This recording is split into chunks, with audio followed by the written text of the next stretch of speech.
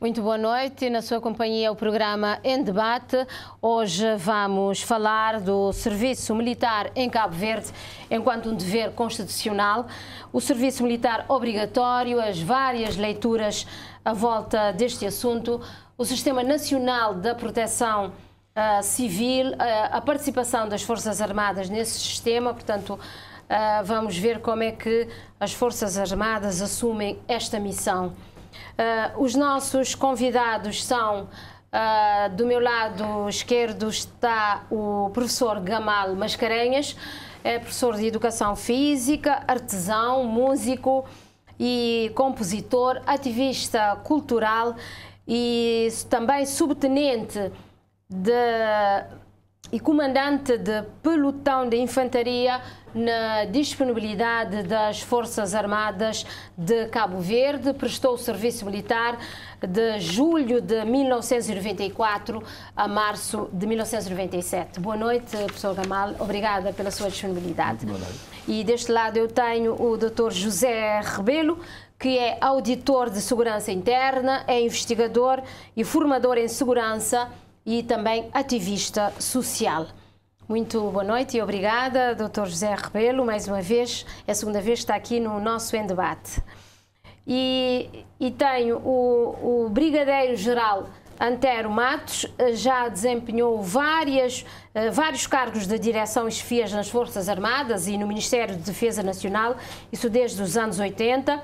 Já foi chefe do Estado-Maior das Forças Armadas, 2001 a 2009 Passou à situação de reserva em 2009, 2009 a 2014 desempenhou o cargo de Conselheiro de Segurança Nacional do Governo. Já reformado, foi coordenador da Comissão para o Enfrentamento dos Efeitos da Erupção Vulcânica na Ilha do Fogo, de 2014 a 2015, e também é mestre em História pela Academia Político-Militar de Moscovo e já teve várias condecorações. Muito boa noite. Boa noite. Doutor Antero, muito obrigada pela sua presença, mais uma vez a todos. Obrigada pela vossa presença. Nós aqui vamos falar, como eu já disse, do serviço militar. Após o incidente que aconteceu, portanto, no passado dia 2 de abril, com 31 uh, eh, militares que resultaram em 8 óbitos e 23 feridos, isso, como já sabemos, na sequência do incêndio que ocorreu no Parque da Serra Maragueta, em Figueira das Naus. Portanto, vieram à tona vários questionamentos. Uh, uma das questões é à volta do serviço militar em Cabo Verde, se deve ser obrigatório. Muitos defendem a abolição do serviço militar obrigatório. Uh, eu começaria com o Brigadeiro-Geral, o Dr. Antero Matos. A prestação de serviço militar, portanto, nós sabemos que abrange cerca de mil jovens cabo-verdianos, está regulada pela, pela lei né, de, do, do, do SMO e há regulamentos que foram aprovados, portanto, respectivamente em 93 e 96, normas que, segundo uh, sabemos, estão vigentes há quase 30 anos e muitos dizem que carecem de revisão. Uh, começaria com o Brigadeiro-Geral, o Antero Matos, mas a pergunta é para os três.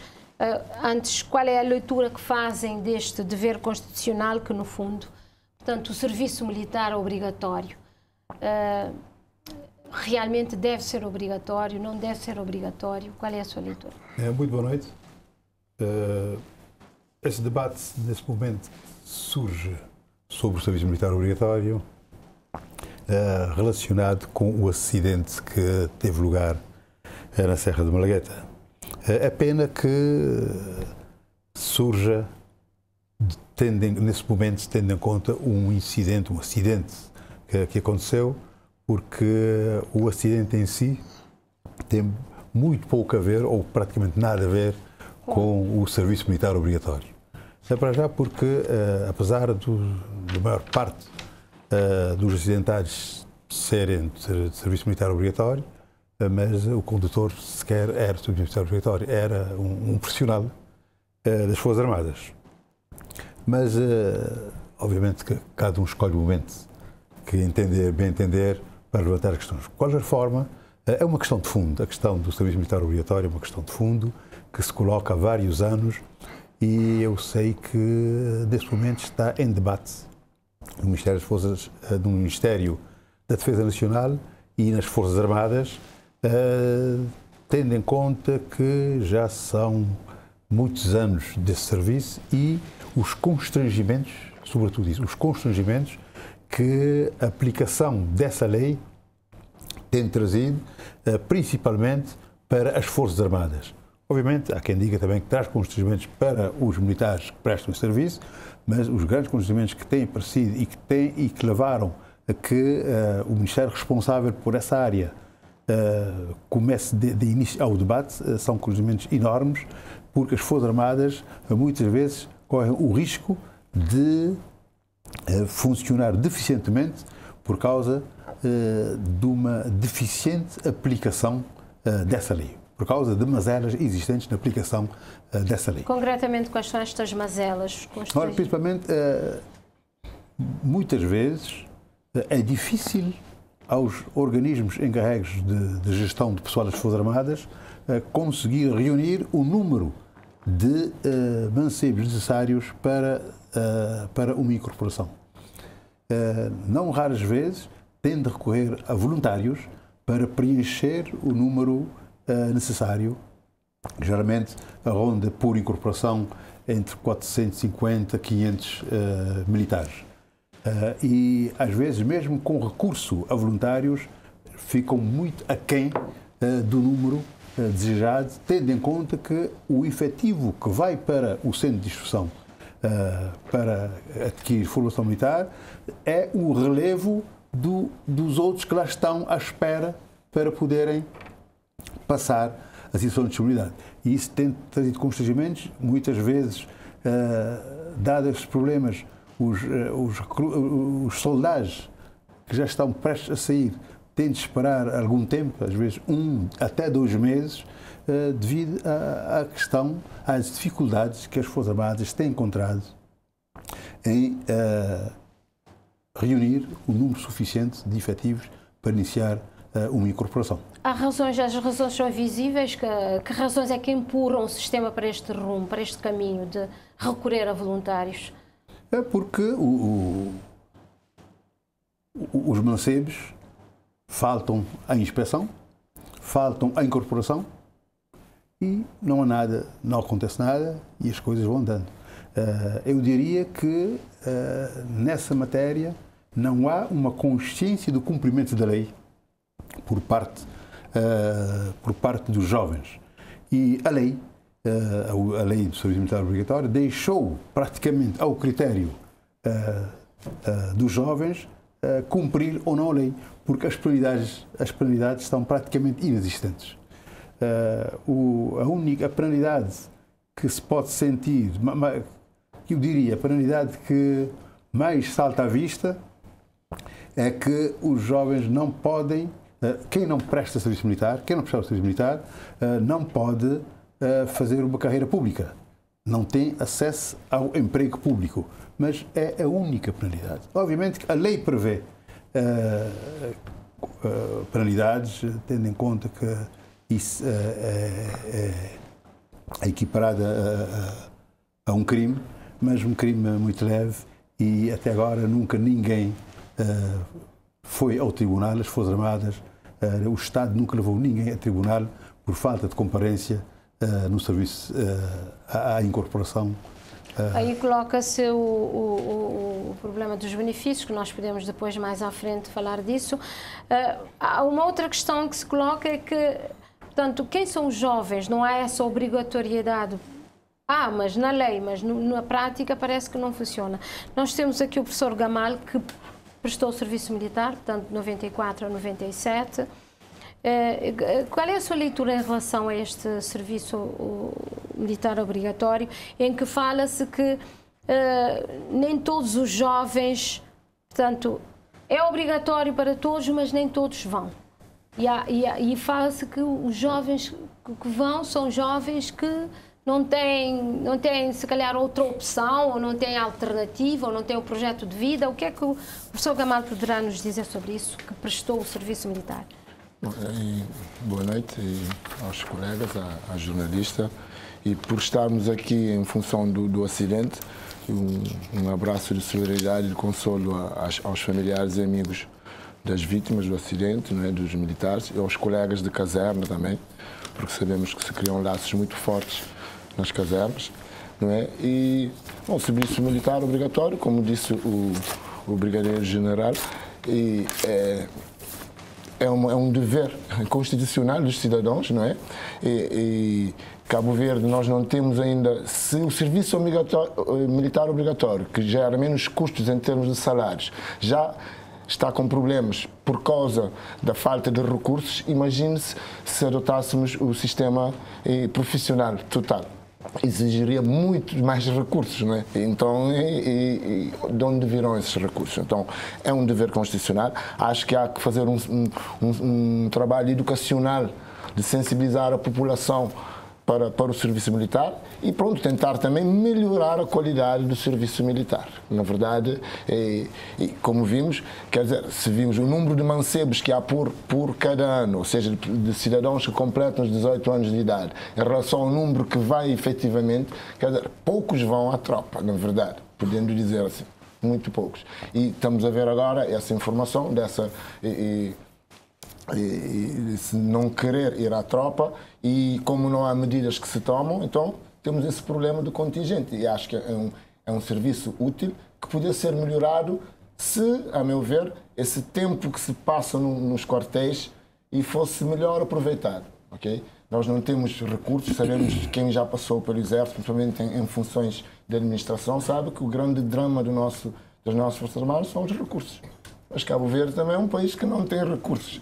Né? Sabemos que eu sou do setor de educação, faltam, faltam recursos para o setor de educação, para, para, para o ensino básico, para o ensino secundário, para o ensino universitário. Então há de faltar também, faltam na saúde, há de faltar também no, no, no, no aspecto militar. Mas o serviço militar obrigatório, eu acho que deve, deve fazer uma campanha de sensibilizar os jovens que é necessário. E se se melhorar esse serviço, ele ser mais proveitoso para o futuro dos jovens, eu acho que seria mais atrativo e poderia ser e, tem, e não é, às vezes quando há problemas focamos na parte mais negativa, mas sabemos que as Forças Armadas, dentro do possível, têm formado condutores profissionais, têm, têm, têm e oferecido à sociedade civil vários engenheiros, engenheiros navais engenheiros mecânicos. Então, tem, tem, através das Forças Armadas, muitos cidadãos têm, têm tido bolsas de estudo para, para formações universitárias, temos e, operadores de, de, comunicação que são formados na tropa e o grande contingente de, de, de, de integrantes do Serviço de Proteção Civil da Cruz Vermelha às vezes são ex-militares, as, as uh, empresas de segurança privada e contratam Tanto muitos, há, desde que seja militar bem comportado, há benefícios, não é? Mas, Mas temos o, problemas, o Cabo Verde é um país com problemas. O, o Brigadeiro-Geral Antero Matos disse aqui uma coisa em que é, é preciso os jovens terem o, o sentido deste dever constitucional, mas uh, também há o discurso de que uh, uh, às vezes há, há, há, são as famílias mesmo é que muitas vezes desincentivam os jovens a irem para a prestarem o serviço militar. Muitas vezes os jovens de 19, 18 anos ainda estão sem essa decisão forte de decidir.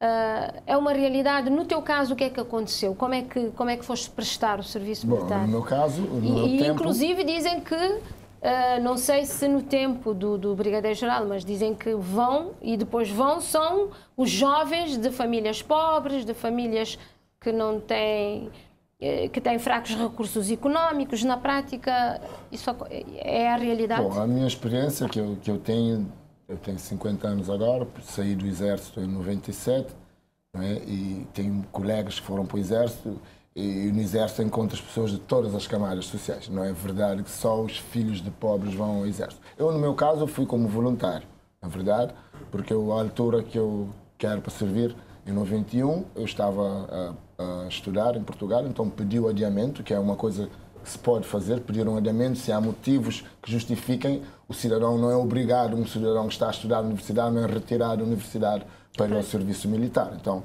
mas se o cidadão também não está a fazer nada e há necessidade de mancebos, isso está na lei, é? Então, eu acho que as famílias menos cabeçadas às vezes têm menos acesso à informação, não sabem que há esse, esse expediente de pedir um adiamento, mas para se pedir um adiamento tem-se comparecer à inspeção. Não é? Né? E, então, às vezes, o, os mancebos, o que é que acontece? Quando tem de pedir um visto e, ou se pede em algum, alguma entidade o, a licença militar, é que vão ter aos quartéis para tentar fazer inspeção e tentar obter essa, essa licença militar. Então, é, não é tão verdade. Eu, no meu caso, como fui como voluntário, não sou um exemplo de pessoas que foram levadas, levadas à tropa. Eu uhum. decidi ir, ir, ir prestar o serviço militar por, por razões pessoais então abracei a carreira militar temporária, não é? E, e na verdade há revelia de algumas pessoas, porque na verdade eu era filho do, do, do, presidente e era uma pessoa que, que parodiava, digamos assim. Então havia um certo receio de alguns oficiais que eu via saber e superiores que eu e criasse instabilidade no quartel porque iria arvorar-me em filho do presidente e comportar mal e baseado nisso. Mas na verdade Todos sabem que eu tive um comportamento exemplar no quartel, fui um soldado premiado e, e acabei de ser convidado e acabei de ficar algum tempo, fui instrutor militar, fui me formar em Mafra, não é? E eu, no meu caso, a experiência militar foi uma coisa muito positiva na minha vida e, e eu tenho muitos colegas ex-militares que também consideram isso. Então, dependendo da forma como é encarada, o serviço militar pode ser uma coisa muito boa ou uma coisa péssima. Né? Então, há, há, há esse lado. E pronto, hoje sabemos que os jovens são muito mais indisciplinados do que nós, então é, temos, teremos mais problemas em aceitar a disciplina dos quartéis. Acho que isso é uma coisa que às vezes e muitos jovens não se adaptam à disciplina do, dos quartéis. Claro que temos problemas, mas eu, no meu caso, o serviço militar foi uma coisa que me ajudou muito e que, que eu, a experiência que eu adquiri e, e, no serviço militar e serve-me ainda hoje nas coisas que eu faço no meu ativismo cultural. Nós vamos ter a oportunidade ainda de falar mais sobre a experiência do professor Gamal e, e o Dr. José Rebelo, que também prestou serviço militar. Que leitura é que faz uh, da lei, portanto, e do serviço militar obrigatório? O que é que nos poderá dizer sobre este assunto? Eu gostaria de, em primeiro lugar, saudar os telespectadores lá em casa, saudar também o brigadeiro, o professor Gamal, e, a ti um, um, forte abraço e um obrigado por me ter convidado para estar cá. Eu creio também, eh, na linha do que nos disse o Brigadeiro Antero Matos, uh, que o serviço militar obrigatório ganha relevância de debate neste contexto apenas porque uh, forças, as Forças Armadas é um dos agentes da proteção civil. Eu creio que, do resto, uh, deveria haver espaço concreto para se tecer um debate profundo sobre isso e eu creio que o melhor espaço seria o âmbito das reformas das Forças Armadas. Eu hoje muitas vezes abstenho de falar de reformas, mas falo de, da segurança transformacional ou da defesa transformacional, que lógico também vai nos levar exatamente ao serviço militar numa outra perspectiva. Numa outra perspectiva, porquê? Porque uh, hoje o conceito de defesa e de segurança mudou. Se mudou esse conceito, nós temos que entender que a participação cidadã em todas as esferas uh, de processo uh, regular faz sentido. E força e, e, a prestação de serviço militar obrigatório é um desses eixos da participação do cidadão e os estudos críticos da segurança hoje uh, desenvolve muita, muita matéria sobre isso, uh, porque antes, por exemplo, de 1994, a perspectiva tradicionalista histórica de segurança concebia a possibilidade de, uh, a médio longo prazo, terminar né, com as medidas securitárias. Mas, depois de 94, as perspectivas mudaram, ou seja, mostrou-se, uh, através dos estudos críticos, que é importante que haja uma reconstrução da forma como se faz a segurança, em que o Estado não seja apenas um único ator, mas existe diferentes atores que acabam por trabalhar exatamente para evitar o conceito contestado da segurança. É pena que quando ouço algumas uh, preocupações uh, sobre o serviço militar obrigatório, ele vem de pessoas que nunca participaram no serviço militar obrigatório. Eu fiz serviço militar obrigatório de 23 de abril de 1992 a 22 de setembro de 1994. Igual ao que disse o professor Gamal, eu uh, recebi das Forças Armadas não apenas técnicas de manejamento de armas ou então de trabalhos ordinários do dia a dia uh, uh, da defesa militar, mas recebi também né, a educação moral que as Forças Armadas acabam por transferir às pessoas, portanto, longe da perspectiva de que Forças Armadas apenas forma pessoas para lidar e disparar armas. Isso é uma ideia falsa. As, as Forças Armadas é uma escola de valores. Aliás, a nossa Constituição, a nossa Constituição acaba por uh, conceber a ideia das Forças Armadas como a força moral da nação. E no dia em que uh, se decidir ao contrário, nós estamos, pura e simplesmente, né, a afastar de uma perspectiva moderna e transformacional da forma como a segurança se faz e também da forma como defesa e segurança deve ser tratado. Por isso, há espaço sim para debater, para melhorar. Eu me lembro que o meu primeiro artigo que publiquei num jornal foi exatamente sobre uh, ideias de aproveitamento desse tempo de serviço militar para melhor capacitar profissionalmente aqueles que prestam serviço militar como um elemento de compensação do mérito das pessoas que efetivamente se disponibilizam para entrar nessa escola de aprendizagem. E as Forças Armadas, muito mais do que qualquer ideia contestatária ou do conceito contestado da segurança, deve hoje, ainda mais num país como o nosso, com debilidades econômicas e também com problemas, inclusive de várias ordens uh, de implementação das medidas securitárias, apostar numa forma de reforçar a coesão né, dos cabo-verdianos, dos jovens cabo-verdianos, na participação daquilo que é a ideia do Estado, daquilo que é a ideia da consciência da nação, mas também aquilo que é a ideia da forma como a segurança e a defesa deve, devem ser feitas hoje. Como é, mas como é que vem a evolução de, das Forças Armadas, uh, portanto, nos últimos tempos? Portanto, uh, em termos de rigorosidade, uh, fala-se que hoje há menos rigor, há menos, há mais laxismo, e se calhar situações que acontecem lá dentro, alguns uh, alguma realidade menos digna que também tem tem despolitado alguma fragilidade, portanto, do sistema. Nós não podemos. Muitos falam na indisciplina, na, em falta de rigor. Nós não podemos ignorar, nós não podemos ignorar que dentro desse conceito contestado da segurança, haja também motivações para esse laxismo.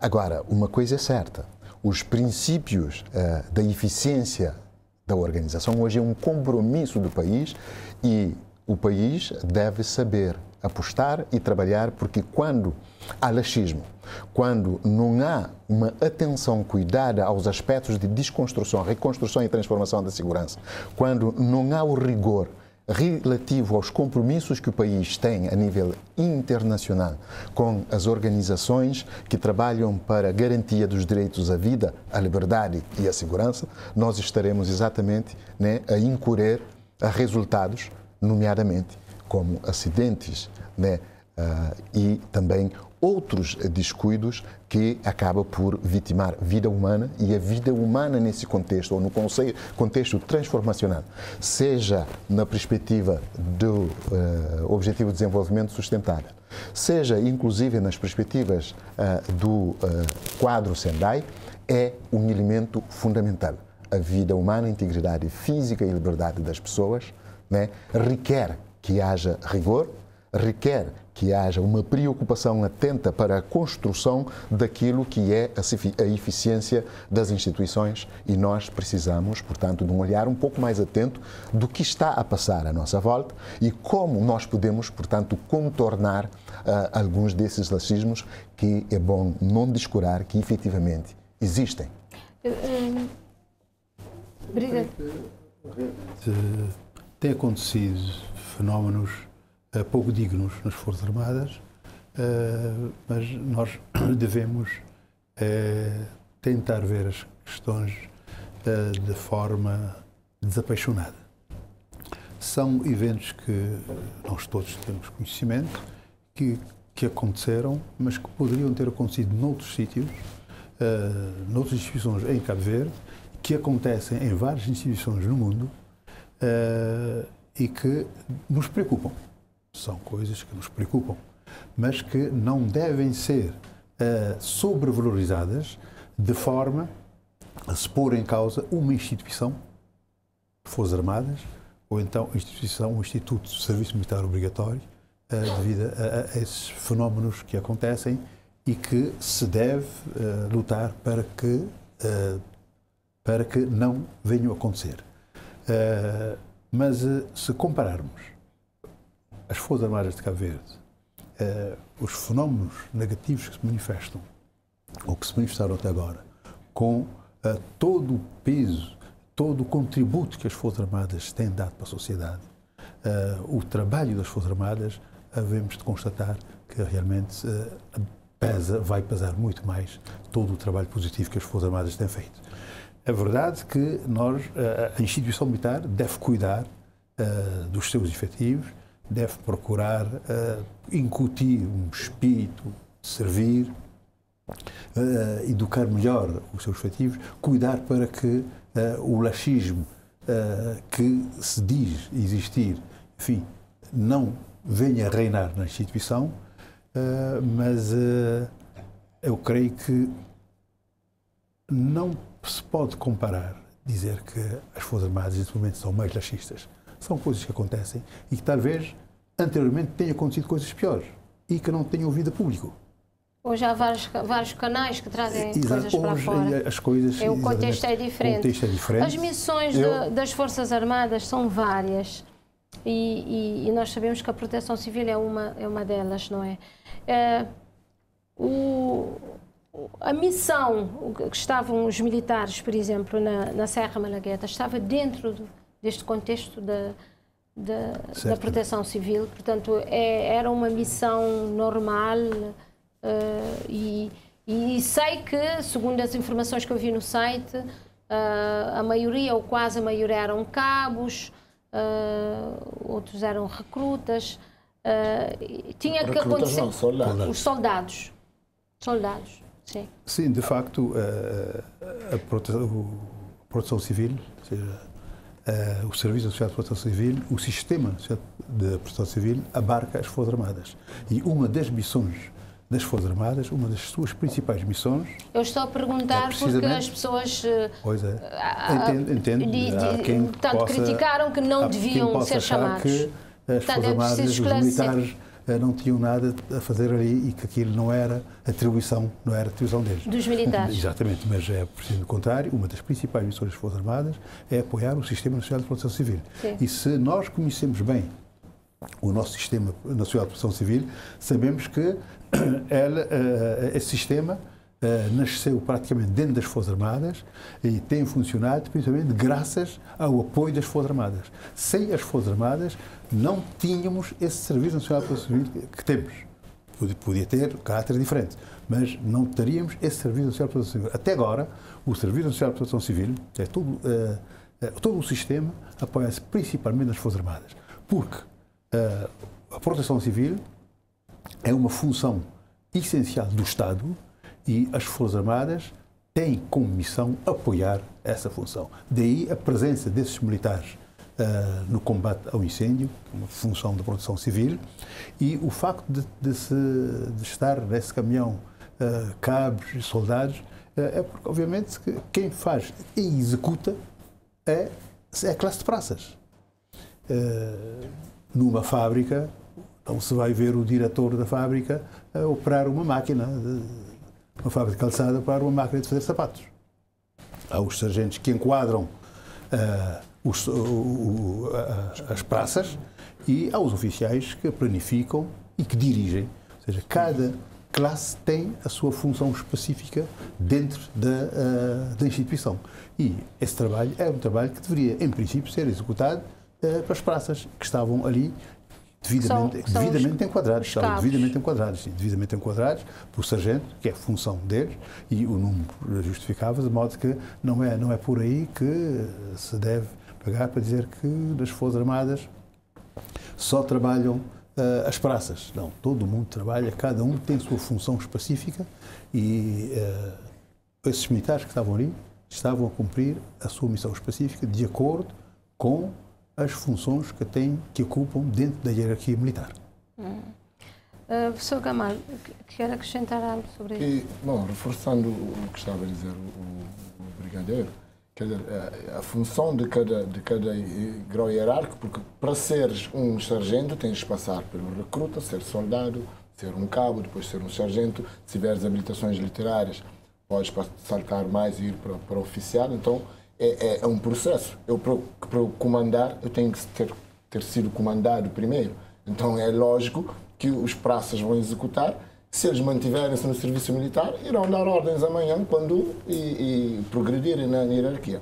Mas acrescentando à, questão anterior do, do laxismo, eh, vamos deparar-nos com o eterno problema de Cabo Verde, onde há laxismo, há falta de recursos que, para, para se criar melhores condições profissionais para aqueles que estão na profissão, gerando desmotivação, melhores quadros abandonam, ficam quadros que têm menos, menos, eh, menos capacidade de ter outras saídas, digamos assim, e a falta de recursos faz que hoje as os, o, a, a, o período de instrução seja cada vez mais curto.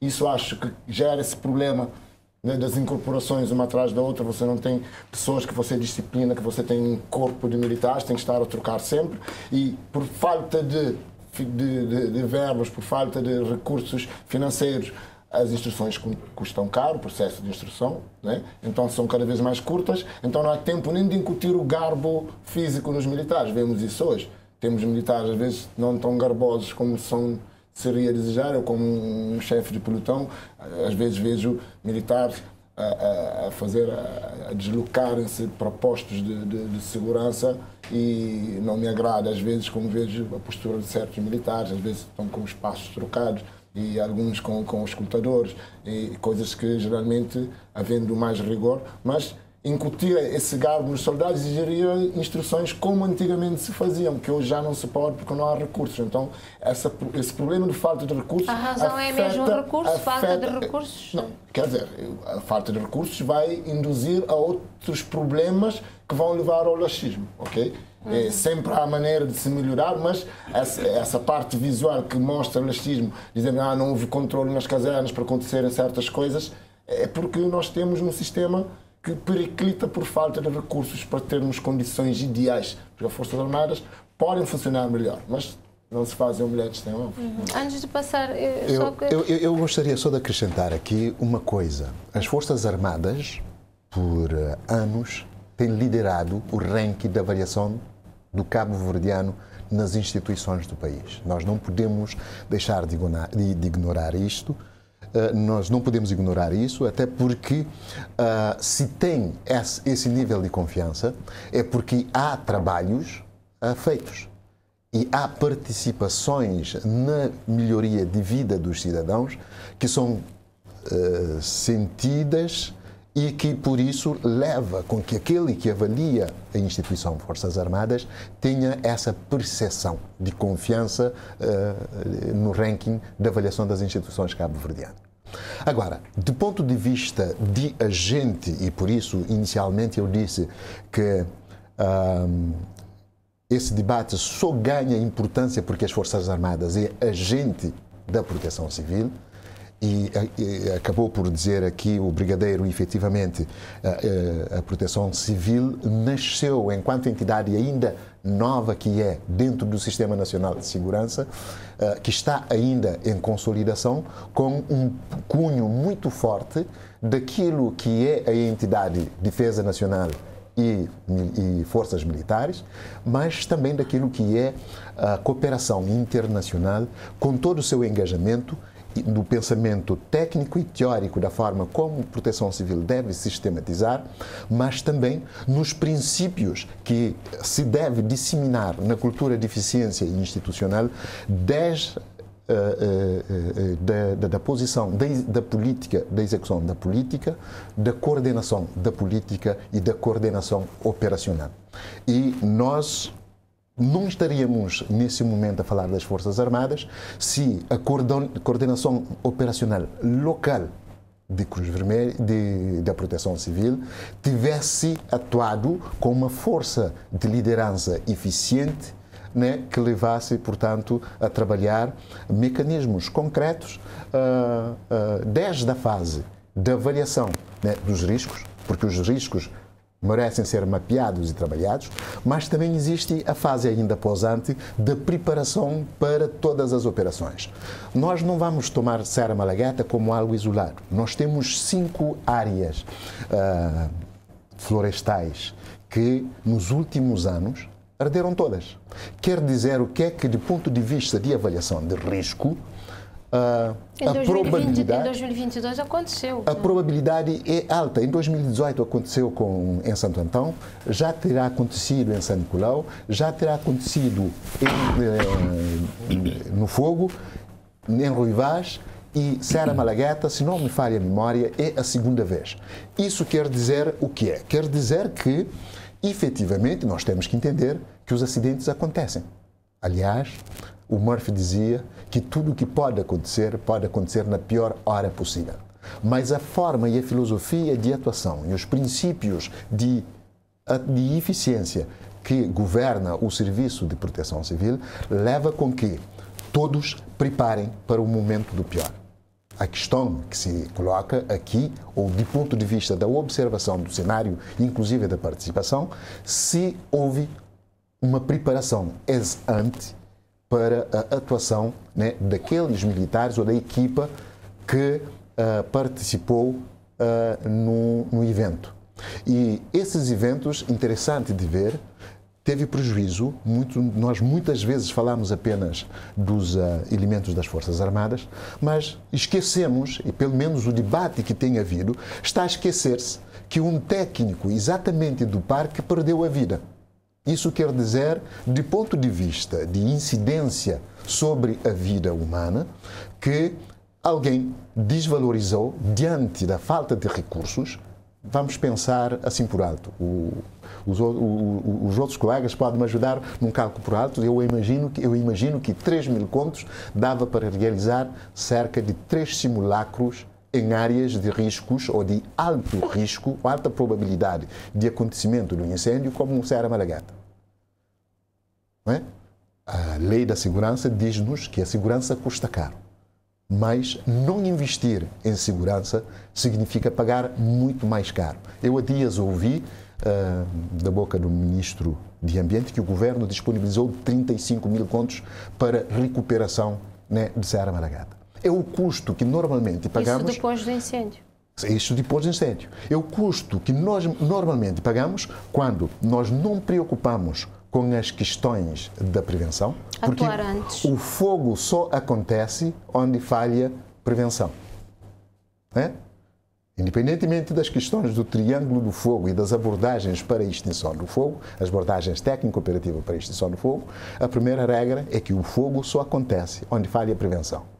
Eh, então é bom questionar nesse aspecto onde esteve a prevenção para afetar exatamente aqueles que operam no combate às emergências que merecem ser controladas e que, mesmo controladas, podem acontecer acidentes. É? Onde estava isso? Um, um outro, uma outra questão é o peso que isso tem sobre a vida humana. É? Um, morreram pessoas, perderam vidas e Cabo Verde tem perdido muitas vidas. E isso é uma questão que precisa ser trabalhada, colocada. Por quê? Porque há vidas, há situações evitáveis e a proteção civil existe exatamente para evitar determinadas situações. É por isso que na sua construção goza amplamente de participação de sujeitos plurais, né? assim como, como participa o sistema uh, de Defesa Nacional e Forças Armadas, participa a Segurança Interna e Forças Policiais, participa as outras entidades policiais, a Corporação uh, de Bombeiro, o Sistema de, de, de, de Bombeiro e Proteção Civil Nacional e, na sua hierarquia, tanto de ponto de vista nacional como de ponto de vista uh, local ou municipal. E então toda essa máquina precisa ser olhada desde o ponto de vista daqueles que lideram e nós vamos perguntar, tudo bem, do ponto de vista do papel da liderança, a escolha uh, das coordenações, muitas vezes a nível da execução operativa, tem caído sobre os militares que têm feito seus esforços. Vamos pensar, do ponto de vista de coordenação da política, quais são os requisitos que exigem para aqueles que estão né, a coordenar essas políticas a nível local, a nível nacional e como é que isso se enquadra na eficiência que a comunidade internacional espera disso?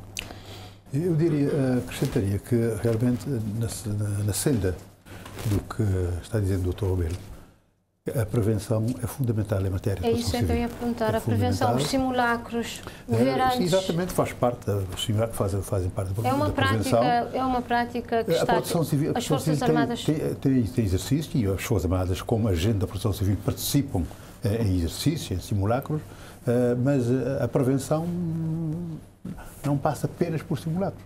Há todo um sistema eu pergunto, não sei qual, qual era a situação, qual é a situação nesse momento, mas pergunto se todos os cuidados que se devem ter com as, as áreas florestais estão sendo tomadas.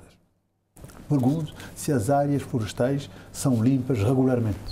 Pergunto se, enfim, são abertas, são abertos os espaços necessários entre eh, nas áreas nas áreas florestais.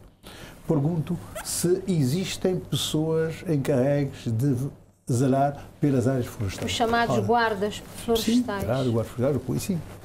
Eu não sei se existem, mas eh, são tu, todos esses são aspectos que devem ser tidos em conta e fazem parte da prevenção.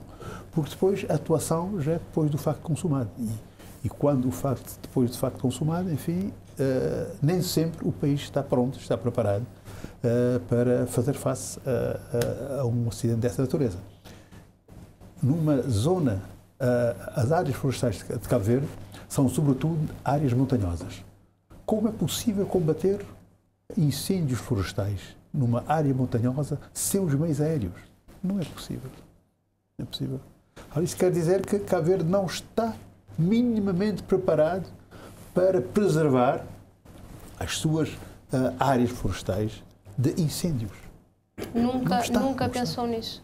Não, não é que nunca As Forças Armadas não têm, não têm, não têm não, não é que nunca pensado As Forças Armadas não têm, obviamente as Forças Armadas não, mas, podem, não podem As Forças Armadas fazem parte da, da, dessa parte de proteção civil, mas não têm equipamentos, não têm. Como é que está a organização dentro? Em matéria de planificação, tem-se falado, uh, tem-se projetado a aquisição de meios aéreos, para falar nesses meios, mas só que não tem saído do papel. Uh, eu sei que dentro das Forças Armadas, enfim, trabalho juntamente com a Proteção, eh, com a proteção Civil, uh, tem-se falado em, em aquisição de, de, meios aéreos polivalentes que possam uh, servir para uma série de, de, de tarefas, seja, multifuncionais, que possam servir tanto à defesa nacional, como a segurança interna, como a proteção civil, como a evacuação de, de doentes e, enfim, nós precisamos desses meios, mas ainda não temos esses meios. E a, ausência uh, desses meios, uh, obviamente, tem um papel, uh, joga um papel importante em todo o sistema de proteção civil. A proteção civil não é eficaz sem esses meios. Mas o, os, os, militares estão capacitados para, para estes trabalhos, para esta missão? Ou isto está dentro do, do da preparação geral? Faz, faz parte faz parte da preparação geral do, do, dos militares uh, o combate a, incêndios. Mas só que uh, há de entender que a preparação que se dá a um militar para combater o incêndio requer também os meios. Mas quais eram os meios que esses militares tinham à sua disposição? Não só os militares, como uh, todos os agentes que estavam aí. O Brigadeiro, em termos, sabe, sabe alguma informação eu, da, da, viatura que Não, infelizmente não sei as eu... informações que eu tenho, a viatura era não. Porque a questão desse esse acidente que houve, enfim, foi um, um, um incidente que aconteceu uh, que poderia ser numa missão da proteção civil, poderia ser numa outra missão qualquer. Uh, com essa viatura, porque essa viatura tinha dito que o condutor era um profissional. Eu, eu gostaria, eu gostaria, eu gostaria só de, de, acrescentar, se calhar, atenuar um pouco aqui, porque muitas vezes nós falamos de meios e o meio é, mais, é muito mais fácil de questionar, né? Não temos meios, não fazemos. Efetivamente, um dos princípios da atuação militar é o princípio exatamente da suficiência, ou seja, uh, eu tenho que atuar a dimensão exatamente dos meios que eu tenho para salvar vidas, para não colocar em vida risco, em risco a vida dos soldados. É o princípio da insuficiência. Mas a proteção civil opera em meios, ou em princípios ainda uh, mais alargados. Ou seja, para além do princípio da prevenção que nós já falamos, ou o princípio da coordenação e necessidade de comando, ou até dos princípios eh, de informação, um dos princípios caro nessa operação, que eu acredito que poderá ter falhado, é o princípio da precaução. O princípio da precaução, nesse caso, está implicitamente sob responsabilidade de quem coordena a operação, mas também é bom lembrar que os agentes que atuam uh, sobre a coordenação uh, operacional, sobre o comando operacional de um determinado evento, ele também tem uh, coordenação própria, atua sem prejuízo da coordenação que lhe é afeta. E se nós pegamos, vamos a código de estrada, esquecemos os princípios internacionais de, uh, de proteção à vida, esquecemos inclusive os valores constitucionais, vamos a código de estrada. Como, dentro do princípio de, de precaução, colocarmos 31 indivíduos mal condicionados dentro uh, de uma viatura que vai a uma operação e, nesse caso, uh, a perspectiva de risco nunca é igual a zero. A perspectiva de risco nunca é igual a zero em segurança. A outra coisa, vamos, podemos, eh, ainda dentro do princípio de, de precaução, questionar. São questões que, se calhar, um inquérito mais profundo chegará ao entendimento. Uh, como é que se uh, precaveu uh, esta situação, ou melhor, nesse caso, como não se precaveu? Por exemplo, temos um pelotão de 31 efetivos, vai no mesmo carro. Não é normal? Vai no mesmo carro. Normalmente, o princípio da precaução diz, diz, é por isso que os carros militares têm normalmente bancos de 18 lugares, ou de 9 lugares cada. Porquê? Porque a maioria das uma vezes esquadra. são transportados uma esquadra ou duas esquadras no mesmo carro, exatamente para fazer. Se houver um acidente, o que é que acontece? A outra parte vai exatamente cumprir a missão e não deixa a missão por cumprir, exatamente porque sabe que tem vidas a salvar mesmo muitas vezes né, com dor, e isso voltando a dor, voltando a dor, só um militar consegue, com a educação que tem de formação, ver que os colegas dele estão a morrer, mas prossegue né, para salvar outras vidas ou para evitar outros piores.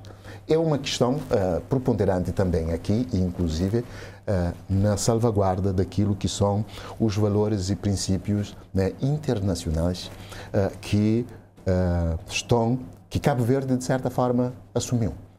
Seja ligado à meta, ao quadro Sendai, seja ligado ao Objetivo de Desenvolvimento Sustentável, o compromisso de Cabo Verde é salvar vidas, reduzir o impacto sobre vidas humanas por 100 mil habitantes até 2030 e também evitar perdas né, de bens das pessoas e assegurar, portanto, a retoma da vida das pessoas, mesmo depois do evento desagradáveis que podem, uh, que podem acontecer.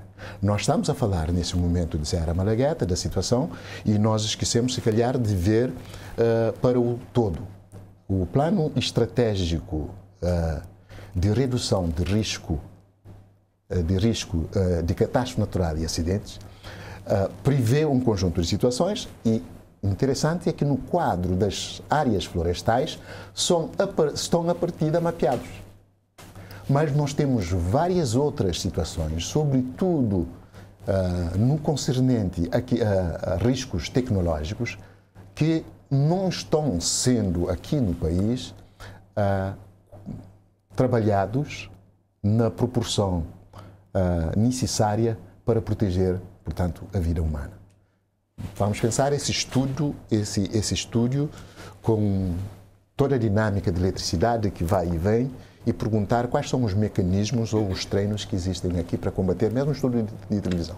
Mas vamos pensar em todas as escolas do país, qual é, uh, é, o, é o nível de plano de gestão de emergência que existem para estas escolas. Uh, vamos pensar nos acidentes que acontecem todos os dias.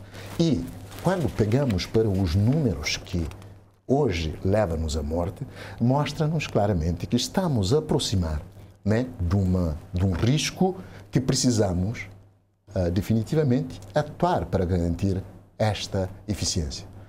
Eu, quando digo que a morte do, do, do inocente, o sangue do inocente não deve ser derramado em vão, se uh, esse evento em si servir para um debate profundo né, que leva-nos a colocar dedo na ferida e assumir a nossa realidade, nós vamos entender exatamente a partir das figuras que, uh, que, que nós temos, uh, entender que estamos a ultrapassar um limite daquilo que seria moderável e aceitável para, portanto, proteger vidas humanas. Uh, os dados hoje não são coerentes, não são publicados, sobretudo das entidades que deviam publicar esses dados de forma consistente. Para sobre... encontrar esses dados sobre número de mortes por acidentes ou desastre em Cabo Verde, nós temos que fazer um esforço e muitas vezes uh, ir a diferentes elementos. Porquê? Porque há uma forma de cálculo para garantir né, que o país está sendo está a ser eficiente ou não e eu fiz uma pequena projeção. Nós tivemos, a partir de 2015, 2015 nós tivemos 37 mortos por homicídio negligente, nomeadamente de acidentes uh, industriais, acidentes de trabalho no seu todo, mas também de acidente de viação e outro. E se nós vemos que o, se nós sabemos que o compromisso Sendai é a partir de 2015 reduzir consideravelmente esses números de mortos, nós vamos ver a evolução e encontramos 2022 com 65 né, homicídios. Isso o que é que vai nos dar? Vai nos dar, basicamente, aquilo que é a ideia né, de, de vítima, número de vítima padrão. Mas, vítima padrão, vamos encontrar também problemas imediatamente, porque calcula-se os mortos, mas as instituições, seja uh, de, eh, associadas, as instituições associadas à inspeção de eh, acidentes de trabalho. Né? Por exemplo, hoje tem dados sobre, sobre acidentes fatais, tem feridos, mas não tem se ferido ligeiro né? ou se é feridos, uh, uh, portanto, se é feridos graves. E isso leva a algum problema na definição daquele que é o número de vítima padrão né, de Cabo Verde, que nesse caso calcula-se de baixo ou residual se não existir morte num determinado país, passa de reduzida, uh, portanto, se tiver 50, e vai para moderada se estiver entre 50 a 200, e depois vai, por exemplo, para um número crítico se tiver mais de 500. Okay? Se nós pegamos esse cálculo, por exemplo, a partir dos dados de acidente de viação, eu só encontrei o número de acidentes ou de eh, para além de mortos. Os mortos nós temos exatamente nos dados do Ministério Público. Então, quando se morre, enterra-se, nós temos esses mortos. Mas os feridos ligeiros, né, quando aplicamos os feridos ligeiros, sem os, os, os, feridos graves, nós estaremos sempre com problema. Ou feridos graves sem feridos ligeiros, também estaremos com problema. E se nós pegarmos esse número para, para encontrar um número, a partir, por exemplo, de número de 2015, que houve, portanto, um total de 871 uh, feridos, não se discrimina. Mas se nós calcularmos de forma proporcional essa evolução com o número uh, de mortos, nós vamos, portanto, encontrar que Cabo Verde está portanto, com um número de vítima padrão de 174. Isso é uma projeção que careceria de dados concretos, exatamente para levarmos uma observação mais aturada. Mas o que é que isso nos, nos, eh, nos permite? Nos permite orientar para dizer que, se fosse de ponto de vista daquilo que são as medidas do, de um outro quadro, que é o quadro Hazard Rating Number, isso vai mostrar-nos exatamente onde é que estamos. Né? Nós estaríamos aqui, portanto, entre 100 e 500, que de, de, diria que nós estaríamos numa situação muito, muito alta. Né? Numa, numa, numa gravidade alta. Né? E o que é que se deve fazer nesse momento? As recomendações né, diz claramente que devem ser realizadas ações para reduzir risco, garantir a implementação de proteção ou de segurança. Quer dizer que, nesse momento, à luz desses eh, ratings e formas de medir, nós não estamos a cuidar adequadamente da vida e nós precisamos olhar para o nosso sistema e correr rapidamente atrás, portanto, da eficiência. E daí a governança de todo o sistema está sendo colocado, portanto, eh, em alerta para poder trabalhar, seja os aspectos da coordenação da política, seja os aspectos da coordenação da execução da política, seja os aspectos da coordenação uh, da execução operacional. Para além dessa, dessa, dessa reforma, dessa que, que, que, o Dr. José Rebelo está a falar, isso dentro da, da proteção, da proteção civil, uh, pegando ainda nas, nas medidas, porque eu acho que a reforma dentro das Forças Armadas é já uma já está na agenda, inclusive já já houve discussão dentro do, do atual governo que há medidas uh, que precisam ser revistas. Uh, que, que o, o, professor Gamal e o brigadeiro Manteiro Matos podiam falar-nos um pouco de como é que que medidas é que acham que, que estão previstas e que não são implementadas e que precisam ser eh, ser reformadas dentro das Forças Armadas e que hoje, portanto, está a emperrar alguma dinâmica uh, normal da, das Forças Armadas. As Forças Armadas estão uma instituição que uh, começou uma reforma há já alguns anos atrás. E as Forças Armadas que temos nesse momento são, de certa forma, às vezes aberta, às vezes dissimuladamente, uh, contestadas. A própria existência das Forças Armadas é contestada. Sim, há, há porque... pessoas que dizem que não precisamos, das, sim, sim, sim, não precisamos de tropas, exatamente, não precisamos de Forças Armadas. Uh, porque a, a, a população terá de sentir a utilidade social das Forças Armadas. Qualquer instituição que não demonstre a sua utilidade, obviamente, corre o risco de ser contestado e, e e de, de ter de dar o seu lugar. E o processo que decorre o governo nas Forças Armadas da reforma é algo que visa adequar as Forças Armadas às necessidades do país que temos ou não podemos. Nós somos um país de paz, somos um país que tem determinadas ameaças e as Forças Armadas existem para uh, fazer face às ameaças que pendem sobre o país, principalmente ameaças externas, mas também internas, porque nesse momento, hoje, é difícil uh, saber onde acaba, começa uma ameaça externa, onde acaba uma ameaça interna. E esse processo de reforma deveria, quanto a mim, levar a que as Forças Armadas uh, fossem uh, adequadas de tal forma que estivessem na linha de frente para fazer face às ameaças reais que temos nesse momento. Ora, uh, neste momento, qual é a principal ameaça que nós temos em Cabo Verde? É claro que é o problema da criminalidade transnacional ligada aos diversos tráficos, nomeadamente de drogas. Outra ameaça fundamental, da ameaça principal, é a tão chamada, a chamada criminalidade de massas depois temos a questão do terrorismo. Ora, são ameaças uh, em que, em regra, as Forças Armadas uh, não, não estão na linha de frente para combater. Mas são ameaças uh, cuja contribuição das Forças Armadas poderá ser determinante para o seu combate. E precisamente nós ainda temos umas Forças Armadas que não se adequaram completamente às ameaças que nós temos.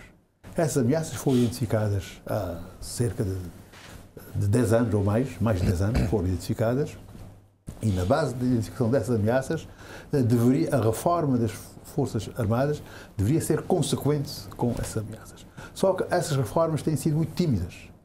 As Forças Armadas tinham uh, exército, uh, força aérea e, e marinha. Isso que essa, essa composição clássica das Forças Armadas não serve a Cabo Verde. Foi-se caminhando, reformaram-se as Forças Armadas até hoje e as Forças Armadas passaram a ser constituídas por dois ramos fundamentais, a Guarda Nacional e a Guarda Costeira.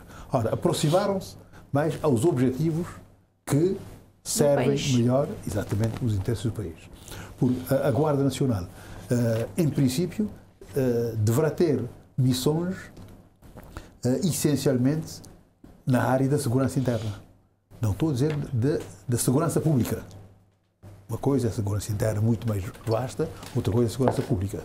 Segurança pública é algo que deve ser deixado para a polícia. Mas uh, no âmbito da segurança interna existem variadíssimas uh, tarefas que, neste momento, são executadas uh, pela polícia, mas que poderiam ser executadas pelas Forças Armadas com maior eficácia e poupando a polícia para outras tarefas que para as quais estão vocacionadas muito mais que as Forças Armadas. O outro ramo é a Guarda Costeira. Nesse ramo existe um consenso geral, todos estão de acordo que a Guarda Costeira faz uh, o trabalho de vigilância, patrulhamento uh, das águas uh, do território aquático marítimo nacional e nessa matéria temos consenso tanto a nível da população como a nível das forças políticas. resta é adequar as forças terrestres a, às ameaças que nós temos e para que correspondam às reais necessidades de Cabo Verde. Por isso é que aparecem questionamentos, porque ao se questionar o serviço militar obrigatório, eh, quanto a mim, o que está-se a questionar são as próprias Forças Armadas, não é o serviço militar obrigatório. São as Forças Armadas que está-se a questionar, porque as pessoas não sentem essa utilidade social. E as Forças Armadas ou são adequadas à realidade que nós temos, ou adequamos as Forças Armadas de acordo com as nossas necessidades, ou então as Forças Armadas uh, correm o risco de, uh, de ser irrelevantes, socialmente irrelevantes. Sendo socialmente irrelevantes, é, está-se a cavar a sua própria sepultura. De modo que a reforma das Forças Armadas é urgente, porque as Forças Armadas são uma instituição necessária ao país, independentemente do nome que possa ter, mas as forças militares em qualquer país são de grande utilidade para uh, os tempos, tanto para os tempos uh, normais como para momentos de crise. Então justificam-se as Forças Armadas? Certamente, nesse momento, uma boa parte da população não se, não se reconhece nas Forças Armadas que nós temos. Porque acha que por isso é que o professor Gamal referiu-se aí que o tempo que, que o militar do serviço militar obrigatório, um, um recruta ou um soldado passa nas Forças Armadas, deverá ser melhor aproveitado. Ora, isso porque... não, foi, implementado o programa Soldado Cidadão, Sim. não sei, e, eh, que foi em 2007. E precisamente, precisamente, o que eu ia dizer tem, tem, a ver com isso. Porque uh, o, o militar em serviço das Forças Armadas uh, não está ali para uh, ir aprender uma profissão para a vida civil. Não. Não, não, não. não. A função das Forças Armadas não é essa. Essa poderá ser uma uh, função, uh, enfim, lateral das Forças Armadas, aproveitar a instituição para ir dando, na medida das possibilidades, uma profissão aos que lá passam. Mas, por mais que queira, não poderá fazer isso relativamente a todos, nem sequer a maioria. Eu estou convencido que uh, talvez 10%, se tanto, dos militares que passam para as Forças Armadas tenham passado pelo programa Soldado Cidadão. Porque é, é, materialmente impossível as Forças Armadas fazerem isso, porque senão as Forças Armadas teriam de deixar de cumprir as suas missões para passarem a ser uma instituição de formação. Portanto, não esse, é essa, não é essa a função das Forças Armadas. Eh, era, era o que era? Formação para o soldado, não é? Formações não, esse programa é um programa bem-vindo, um programa Sim. Eh, interessante, eh, porque ajuda aos, aqueles que passam as Forças Armadas e que têm necessidade a ter uh, alguma profissão. Uma profissão. Quando saem já têm uma alternativa. Mas não é função primordial das Forças Armadas. De modo que não poderemos ocupar as Forças Armadas com formação das pessoas que lá passam. As pessoas que passam por Forças Armadas têm, devem ter uma função específica que lhes ocupa o dia a dia, função essa reconhecida pela sociedade. Isso é que é importante fazer. Para que as Forças Armadas cumpram no dia a dia, cumpram no cotidiano, uh, missões de interesse para a sociedade e com reconhecimento social. Professor Sim, acrescentando, e, e, sabemos que na prática, nos quartéis, tudo funciona até as três. Né? Então, a partir das três, os soldados praticamente não fazem nada. Os que gostam de praticar exercícios físicos embrenham os exercícios, os que gostam de correr, correm, e os, há uns que desenfiam-se, ok? E então, eu acho que isso, claro, não, não podemos pretender, como disse o, o Brigadeiro, que, que as Forças Armadas se tornem uma instituição de formação profissional. Mas fazendo o meio termo, não precisa ser uma formação de uma, uma instituição vocacionada para a formação profissional, mas como temos esse tempo que se passa e os soldados estão lá, têm alimentação, sabemos que não são as condições melhores, mas estamos, passamos, não, não passamos fome nos quartéis, é? e, e os soldados que se embrenham atividades, todos saem mais, são cidadãos, digamos, e, como dizemos, mais bem preparados fisicamente, etc. Isso, isso é notório e visível. Então, mas esse, esse horário das três a hora do, do, do, do, jantar é um horário que não se faz nada nos quartéis, nos quartéis que podia ser melhor aproveitado nessas formações. Já há algumas formações que se dão nos quartéis, porque sabemos que saem de lá mecânicos, mesmo que não sejam engenheiros que foram estudar formas. Formação técnico-profissional. Isso é? ocorre, porque os, os, os profissionais, os, os, condutores, são, são bem referenciados, os condutores que são e formados na escola militar, os radistas, como tinha dito anteriormente. Então, poderá, eu, quanto a mim, acho que se poderia alargar esse leque de formações nesses horários mortos que temos dentro dos quartéis, até para eles terem uma ocupação não é? e, e estarem preparados, digamos, porque se há jovens que não têm formação nenhuma, que não tiveram sucesso escolar, então foram para a instituição militar, é uma altura que eles passam lá sensivelmente um ano, um ano e meio, poderia ser sim melhor aproveitado aliás, para aliás, formações, mesmo sim. formações que não tenham aliás, diretamente o, estudo, o estudo sobre este programa acho que diz que os eh, que já no mercado, à procura do emprego, tanto concorrendo com o civil que não prestou serviço militar, estes jovens já têm tem vantagem. vantagem. Na, na, na, entrada para o serviço da Polícia Nacional, e, aqueles que os ex-militares têm, digamos, um, são, são porque já têm uma preparação em armamento, já têm uma preparação em defesa pessoal, já têm uma preparação em, em intervenção, então já têm uma preparação prévia que os possibilita de aproveitar muito melhor a formação que, nas escolas de polícia para serem melhores agentes de, de segurança. A própria civil. postura, a própria então, postura que tem leva-os a, a, ter uma vantagem sobre os que não prestaram o serviço militar. Já sabe que alguém que se conseguiu passar todo o tempo e não foi expulso do exército é alguém que por, por ter passado esse tempo e não ter tido problemas, não ter ficha suja, digamos, no exército, é uma pessoa que aprendeu a ter um mínimo de disciplina. E isso, em, em diversos tipos de, de profissão, normalmente, como eu tinha dito anteriormente, na segurança privada, nós vemos que são, são preferidos os ex-militares. Porque a formação, que, que, que a formação militar permite-nos ser bons seguranças, naturalmente. Então, acho que, mas insisto que poderia ser melhor aproveitar esse tempo nos quartéis. Eu, quando insisto na, na, na questão de, de, de, Forças Armadas como escola de valores, eu muitas vezes penso, penso no seguinte: uh, eu fui militar durante dois anos e seis meses e fui, portanto, uh, efetivo das unidades especiais de polícia. Trabalhei como operacional durante, uh, durante 11 anos e 12 anos e trabalhei, trabalhei como assessor de, de, imprensa e depois o Centro de Análise de Informação Policial um ano e meio. É?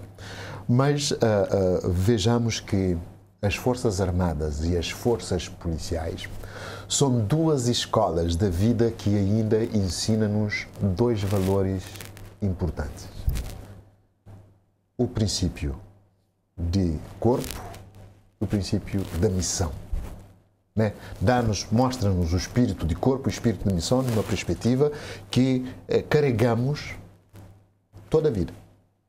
Quando estamos na liderança, quando estamos a lidar com o outro, quando estamos a participar na nossa comunidade, tudo vem um conjunto de ciência que só é ensinado nesse Cabo Verde nosso nessas escolas. E nós precisamos disso. Antes uh, uh, de, de, de, passar, ou antes de terminar, eu gostaria só uh, de se calhar de falar um pouco da reforma. eu creio que a reforma da segurança nós precisamos rapidamente, de, rapidamente repensar as reformas. Eu algumas vezes a brincar costumo dizer que nós pensando na aposentação muitas vezes utilizamos isso um pouco a brincar esse termo também, né, como reforma quando deveríamos pensar na transformação, e eu muitas vezes hoje utilizo o termo segurança transformacional, defesa transformacional, que está muito longe desse contexto histórico ou tradicional em que cada sistema olha para o seu umbigo e trabalha individualmente. É lógico que quando ainda olhamos para o nosso uh, plano estratégico de defesa, é o plano estratégico de defesa e segurança nada impede que tenhamos um plano estratégico de defesa e outro plano estratégico da segurança.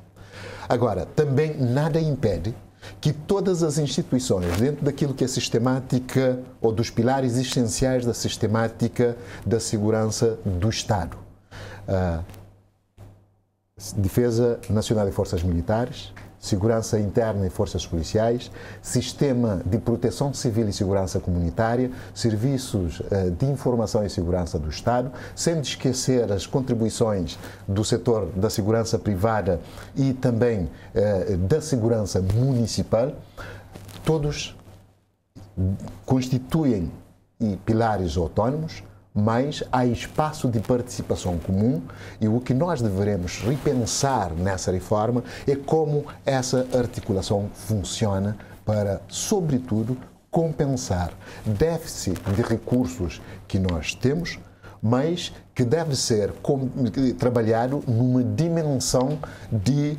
uh, subsidiariedade que deve existir, mas também num pensamento estratégico de abordagem longe daquilo que é a disputa do protagonismo ou então algumas manias que por vezes nós temos de ocasião. Quando falo de ocasião, eu falo de ocasião sobretudo a nível da coordenação política.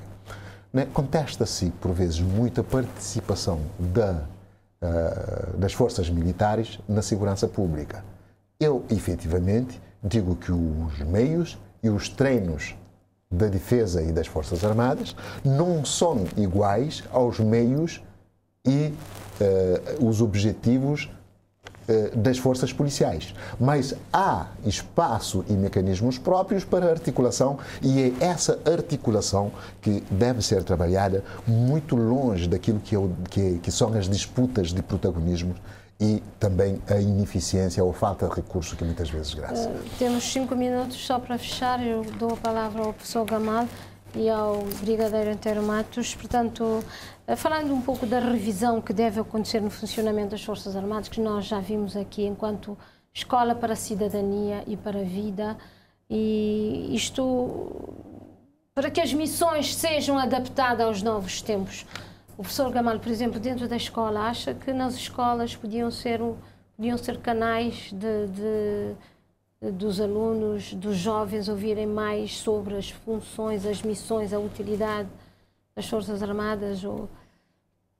Eu já tinha, desculpe, tinha referido no início né, que quando se questionou o serviço militar e essa renitência dos jovens em participar, em, em, se, em se, alistarem, em, em prestarem, cumprir esse dever cívico, que deveria haver mais informação a nível escolar, claro, como informamos de profissões, como incentivamos o empreendedorismo. Mas isso não acontece normalmente nas Não, não. A, a, escola conhece os militares quando há alguma coisa que, se, que, que há necessidade de um apoio que os militares dão, pede-se aos militares para vir com as tendas, eles, os militares sempre acodem, então às vezes focamos, como disse o Dr. Ribeiro, nos problemas ocasionais e não, não vemos a, a floresta, não vamos à árvore e então e, e, os militares sempre apoiam a sociedade civil. Isso é uma coisa que temos que reconhecer.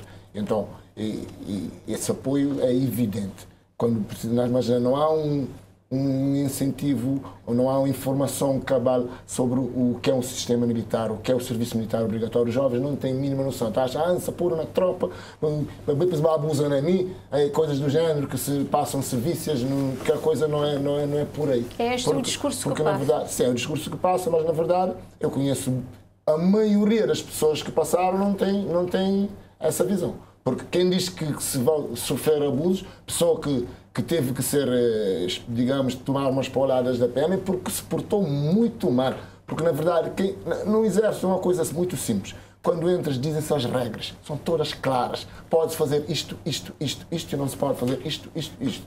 Então, a pessoa tem que ter a disciplina necessária, porque já não, não há lugar para invenções. Então você tem que saber, para não ter problemas, tem que se comportar de determinada maneira. Então, se o indivíduo vai lá, acostumado à indisciplina que tem na sociedade, não respeita nem os pais, ninguém, não respeita ninguém, não respeita professores na escola, claro, ele vai tentar reproduzir esse comportamento na estrutura militar. E aí é vai ter problemas, porque a estrutura militar é independente da parte civil. Às vezes querem ter os mesmos direitos civis dentro do quartel. O quartel, na realidade, é outra. Tens que saber que estás no quartel. É o serviço militar. Então, o, o, o jovem que quer impor a sua vontade vai ter problemas. E digo-lhe, às vezes, o serviço militar.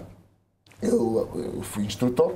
Às vezes, quando o, o mancebo se mostra indisciplinar a tal ponto que se percebe que terá que tomar medidas muito drásticas, ele é expulso do exército. Às vezes, na, primeira ou segunda semana, ah, não passam da primeira semana. Quando eu tive colegas que já tinham tentado ir à tropa de colegas de, de incorporação por três vezes e acabou sendo expulso e, não, e porque pessoa super indisciplinada que, que a instituição disse, não, essa pessoa não temos a garantia que quando ele tiver uma arma na mão, porque repara, é, é, é é uma coisa muito delicada, porque uma os jovens. Exatamente, porque os jovens são preparados, depois estão sentinelas, têm armas, carregadas, armas letais. Então, quer dizer, é, é, quando há um problema que não se consegue identificar um problema psicológico, pode ser o que aconteceu em Monte Chato, não é? Então, quer dizer, é uma pessoa que está com arma, se ela tiver problemas mentais e tiver problemas que não forem detectados a tempo psicológico, pode usar essa arma, essa arma dessa forma como foi utilizada. Então, dizer, o serviço militar há que ser cumprido como, deve, como, como é. Eu fui, eu fui militar, mas só que vemos que há esse problema muito grave da indisciplina dos nossos jovens hoje, que é um problema que vem de dentro das casas. Então, não podemos culpar o exército por tudo, porque o exército também não vai educar as pessoas que vão lá, que entram, porque uh, o que sai do exército é aquilo que entrou. Uhum. Né? Passa por um processo, mas é aquilo que entrou. Então, não podemos esperar se a pessoa entrou totalmente disciplinada. Não, não, há pessoas incorrigíveis, temos que dizer isso, às vezes o exército vê que ali é um potencial problema, enfim, ok, esse aqui não pode. Então, eu acho que, insisto, que há cursos que não são muito caros, que não exigem e, e, e muitos recursos, cursos de língua, etc. E, e, os militares são especialistas, conhecem os trekkings nacionais mais do que ninguém. Então podem ser futuros guias turísticos, mas terão que conhecer línguas. Então cursos de línguas são muito baratos não exigem muitos materiais, muitos recursos podem ser fornecidos aos, aos instruendos né? e, tipos de formação que não exijam muitos recursos, porque sabemos que vamos sempre em Cabo Verde cair na falta de recursos. Já estamos é? a pisar Projetos são muito bonitos, sempre, é, como disse o Brigadeiro, e, e, precisamos de equipamentos, helicópteros, mas helicópteros compram-se. Brigadeiro Antero, Antero Matos, só fechar rapidamente, que soluções podem ser implementadas para que as Forças, forças Armadas sejam mais adequadas, funcionáveis e, e sustentáveis para a realidade atual? Uh, eu diria que nós precisamos, utilizar o termo aí do Dr. Roberto, é continuar a transformação das Forças Armadas. Uh, de reforma, transformação, eh, no sentido de transformação, por as Forças Armadas para poderem ser mais adequadas à, à nossa realidade, ao Cabo Verde que temos. Nós temos de trabalhar de uma forma integrada.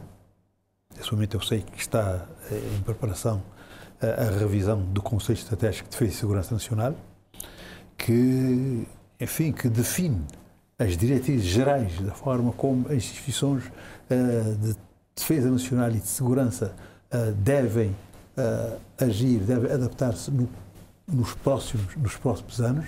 Há que rever. E, exatamente está.